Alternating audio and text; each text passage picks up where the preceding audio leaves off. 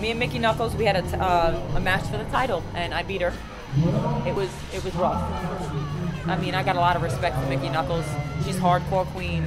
You know, been doing this for a long time. She's got a lot of respect. Paid her dues. You know, so there's a lot of respect there. Jessie Belle, I hear. You know, I hear she's coming for me, and I welcome her because I beat you already, Jessie. You and your partner, and your other partner, and your sister, and your dad. So yeah. Never seen the scene Isabel and Nick the same place. I know what that is. No, ever. No. But you took care of too. Oh yeah. Since then, I haven't seen her no Done. The smallest daughters that, that no longer doing Done. Done. Me and Nina took care of that.